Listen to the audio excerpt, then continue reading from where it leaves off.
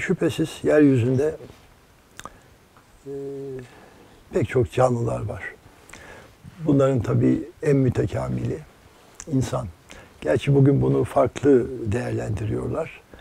E, bitkiler ve hayvanlar diyorlar. Bizim biyoloji derslerimizde böyleydi. Fakat bu pek nezaketli bir tasnif değil. Evet nebatat var. Diğer işte dört bacaklı vesaire canlılar var. Yani iradesi tabi, iradesi sabit mahlukata biz hayvan diyoruz. İnsan onlar işte maymunların biraz tekamül etmişi insandır diye değerlendikleri için hayvana katıyorlar. Fakat hayvan düşünen ve iradesinde kısmi bir tercihi olan bir insandır. Tamamen iradesi tabii ki hür değildir ama e, hayvanların iradesi sabittir. Mesela küçük bir şeyi suya atın yüzer. İnsan yavrusunu suya atın hatta bırakın yetişmiş bile boğulur gider. Neden?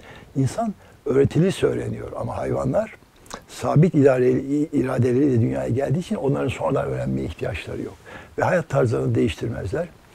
Evlerle alakalı bazı üniversitelerde konuşmalar yapmıştık. Onlara misaller vermiştim. Kuşlardan ve örümceklerden misaller vermiştim. Mesela şimdi boş bir kuş yuvası bulup görün. Eğer kuşlar ve yuvaları hakkında bir fikir verdiyseniz, o fikriniz varsa, böyle bir fikre, görüşe sahipseniz o boş yuvanın hangi kuş tarafından yapıldığını tanırsınız. Neden? Hayvan diyoruz bakın, aklı şuur yok filan derler ama onun sabit bir iradesi var. Her kuş yuvasını yaptığı yer ve kullandığı malzemesi çok farklı. Mesela leylekler e, fotoğrafını çekmişler, bir minarenin alevine yuva yapmış.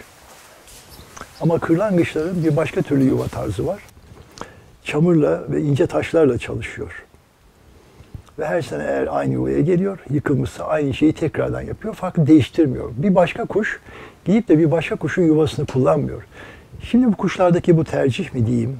Bu bir şahsiyet neticesinde vücuda gelen bir şey midir? Hayır. Yaratılışlarındaki değişmezlik, Cenab-ı Hakk'ın onların yaratılışına koyduğu kanundaki değişmezliğin bir tezahürüdür.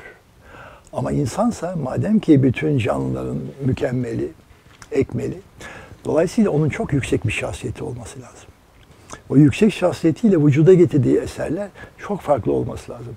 O eserleri hayat tarzının, mensup olduğu dini inançların ve mensup olduğu milliyetin, milletin geriye doğru baktığımızda vücuda getirdiği mekanlarının veya Türk kavmi olarak gezdiği coğrafyalarda gördüğü mekanlardan aldığı zenginlikle vücuda getirdiği mekanların tabii ki çok farklı ve şahsiyetli olması icap eder.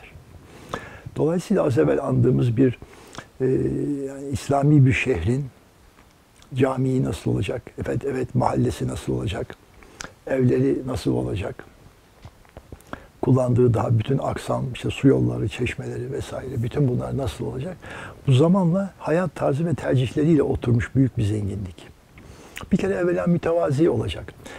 Kendine yeterli kadarıyla olacak. Mesela bugün eğer bir kimsenin imkanı varsa o, o parsel kendine aitse, eğer belediye de o parsele altı kat verdiyse, kendisine bir kat yeteceği halde oraya altı katlı yapar. Hatta bir kat daha alabilmenin mücadelesini gider gider belediyeyle alakadar olur, uğraşır falan bunu çıkartmaya çalışır. Eskiden mütevazi bir hayat tarzı var. Kendine ne lazımsa o kadar yapıyor. Bu yediğimiz içtiğimizden de belli. Bir oturuşta yiyeceğimiz şey bellidir. Bunun dışında ne kadar ne getirse almaz. Dolayısıyla aslında hayatın gerçeği de böyle. Fakat işte böyle olmuyor. Bu doymazlık ve bir başkasının yaptığı o doymazlığın ortaya koyduğu bir farklı iklim onu da öyle yapmaya sevk ediyor. Eğer yapmazsam ben bu yarışın gerisinde kalırım diye bir heyecan ve korku var. Dolayısıyla bu mütevazi hayat tarzı bir kimsenin oturacağı evi eğer hazır bir yerden gidip kendine müsait bir şey alma imkanı olmadıysa yapacak kimseye ısmarlıyor. Kendi ailesinin genişliğine göre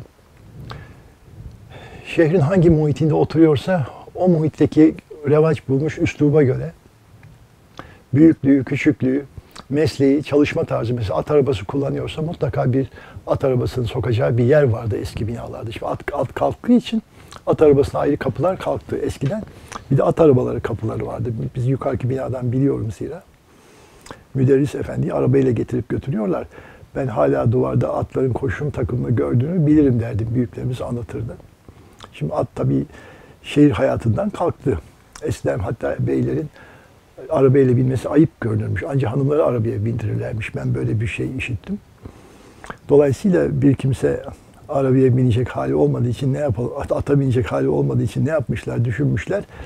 Vazife yerine müsait bir eve nakletmişler ikametini. Eskiden beylerin arabayla bir yere gitmesi ayıpmış. Ata binecek. Eski göreneğe bakın. O böyle bir şey. Dolayısıyla eski evler at barındırıyor.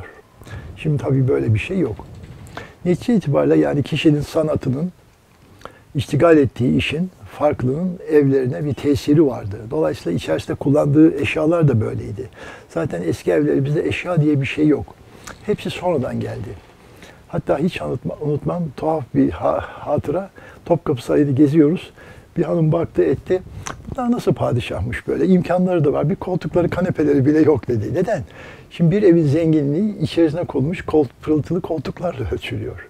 Bu yanlış bir şey. Koltuk Sultan Mahmut devrinde geldiğini ben hatırlıyorum. Yanlış hatırlamıyorsam yani Osmanlı İmparatorluğu'na. Dolayısıyla eskiden biraz mutfakta kapkacak. Bir de gecenin ikamet yetecek kadar bir döşek vardı. Seki bile yoktu.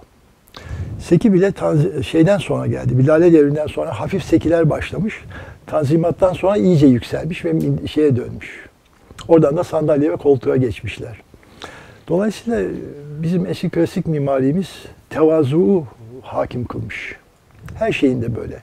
Gerek kıyafetinde, gerek evindeki eşyasında, döşenmesinde, evinin tezinatında böyle bir disiplinli bir hayat tarzı ve tercihler var.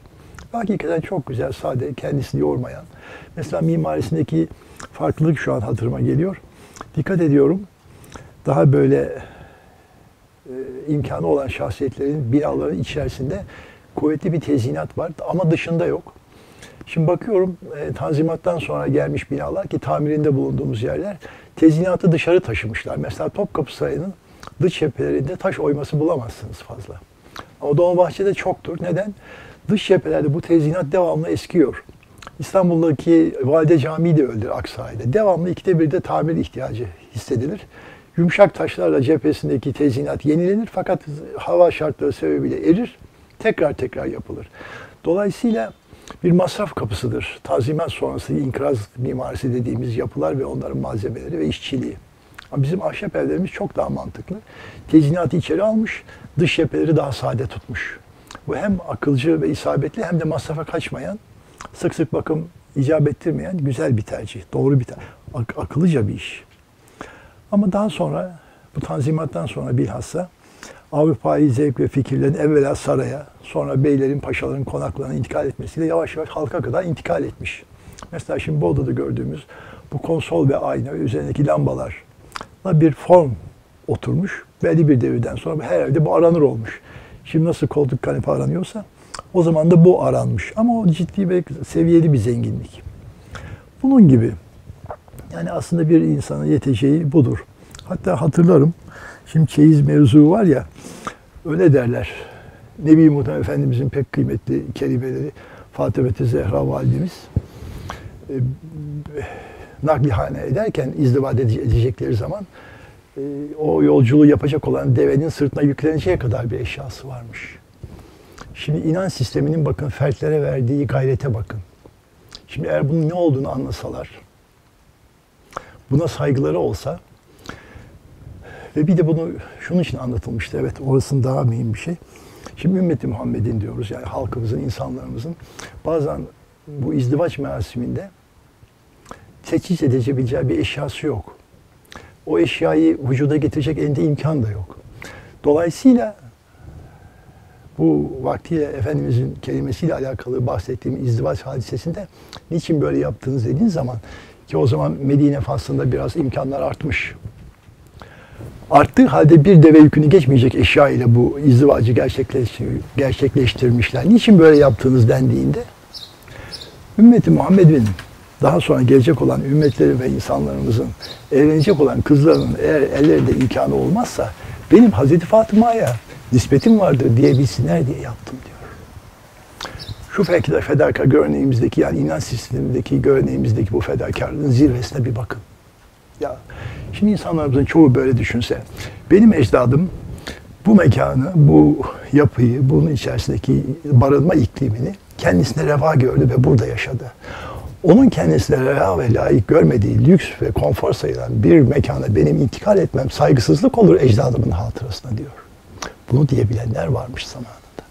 Dolayısıyla kültürünü değiştirmiyor, mekanını da değiştirmiyor, mimarisini de değiştirmiyor. Ve o mekanda birikmiş dünya kadar değer biriktirilmişse eğer, mesela kütüphanesi, o hep kalıyor. O hala ecdadın kitaplarını okumakla meşgul. Satmadıysa eğer, eskiciye vermediyse. Onların eşyaları, o eşyalardaki zevki temaşa ediyor. O eşyanın zevkiyle zinetlenmiş. Anlatabiliyor muyum? Onu daha uzun ömür yaşatarak kullanmanın daktan bir zevk alıyor. Şimdi bugün reklamlar duyuyorum. Siz hala ninenizin şeyini mi kullanıyorsunuz diyor. E tabii yani yarın çöp çöpe çıkaracağım diye bir eşyayı daha alırken çöp nazarıyla bakıyorsa çarşıda pazarda e bunda tabii eşya fikri teşekkür etmez.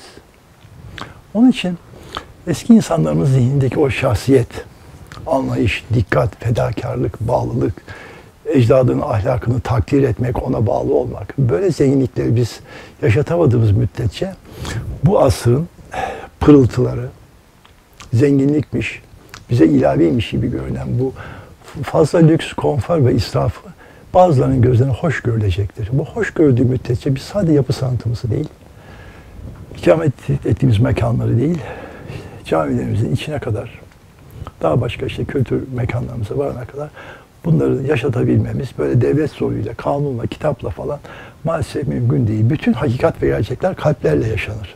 Kalpte yaşanmayan bir zenginliği bir yapıya aksettirmemiz mümkün değil. Böyle bir mesele var. Bir de az evvel siz mahalle kültüründen bahsettiniz. Evet. Eskiden tabii bir mahalle vücuda geliyormuş. Mesela bizim eski şehirlerimizin kuruluş mimarisinde bir çıkmaz aralık, çıkmaz sokak var. Şimdi adresimiz hala Çiçek Tekke Çıkmazı diye yazar. Şimdi tabii o çıkmazın ucuna bir müteahhit bina yaptığı için orası açıldı ve artık çıkar oldu. Eskiden bu çıkmaz yol başına bir yabancı gireceği zaman efendi burası çıkmaz gidemezsiniz. Yolunuz zayi, emeğiniz yolunuz zayi olmasın geri dönebilirsiniz diye ikaz edilirdi girenler. Şimdi bu bugünkü yaşa hayat tarzında çıkmaz aralık yok. Onun yerine rezidanslar var. Büyük siteler var. İşte kapılarında bekçisi, telefonu, elektronik kameraları vesaire. Şimdi onlar çıktı. Onlarla kontrol. Eskiden tabii bir kontrol varmış. O aralığa giren herkes birbirini tanır. Yabancılık çekilmez. Sokakta sıkan çocuklar falan da kaybolmaz. Herkes birbirinin çocuğuna mukayyet olurdu. Hatta bizim burada bahçemiz büyük olduğu için mahallenin çocukları buraya toplanır. Bahçede onlarla birlikte çocukluğumuzu yaşardık. Anneler falan seslendiği zaman çocuklarına bizim bahçede olduklarını duyunca ha iyi o zaman derlerdi. Burası adeta bir emniyet yurdu olmuş. O zaman çocukların oynayabilmesi için yani bir bahç, bir bahçeli bir evin bahçesi civarda yaşayan halkın çocuklarının çocukluk çağlarını daha zinde, daha zevkle birbirini tanıyarak birbirini iyi günler idrak ederek değerlendirmelerinin bir mekanı olmuş. Evet bu böyle bir Müslüman evi ancak işte kendine yetecek kadar hayat tarzına, işine ve muhitine uygun bir şekilde olabiliyordu. Benim görebildiğim, yani tetkik edebildiğim eski ahşap evlerdeki takip edebildiğim farklar bunlarda çok büyük bir fark yoktu. Fakat eğer bir kimse imkan sahibi ise, şehrin bir, bir şeysi ise, bir idarecisi ise veya bir tüccar biraz daha büyük olabilirdi. Zira bir hadis naklederler. Evlerinizi geniş tutunuz, odalarınız bol olsun. İçerisinde misafir ağırlayınız, ağırlayınız diye Efendimizin bir hadisi olduğunu rivayet ederler. Ki makul bir şey tabii eğer hakikaten böyle bir hadis varsa. Misafir ağırlamak için oda bulundurmanız güzel bir şey. Ama benim evim büyük görünsün diye oda ilave etmiyorlardı herhalde. Dolayısıyla geniş odalı evlerin, hatta haremli selamlıklı büyük evler vardı zamanında. Bunların da bulunması daha rahat bir şekilde misafir ağırlanmasına herhalde imkan veriyordu. İçerisinde misafir ağırlayan evler, hatta bir tağıma misafirsiz oturmama geleneği, göreneği diye bir şey vardı. Bunu zevk etmiş insanlar. O misafirin fevzi bereketiyle kendi berekatının artacağına inanan böyle bir görenek vardı. Evlerin sofrası esnen birçoklarına açıktı ve gelenden bir şüphe umulmaz. Herhangi bir şekilde başına bir iş açacağı gibi bir endişeye düşmezdi. Şimdi zamanımızda tabii kapılarımızı öyle eskisi gibi rahat bırakamıyoruz. Devir değiştiği için bu o zaman nasıl olabiliyordu acaba diye insan düşünmekte biraz zorluk çekiyor. Netice itibariyle böyle çok farklı bir hayat tarzımız varmış.